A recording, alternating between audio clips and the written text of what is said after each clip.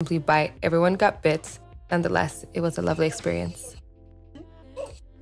Look at him, he's about to bite me. Yep. I got bit by a turtle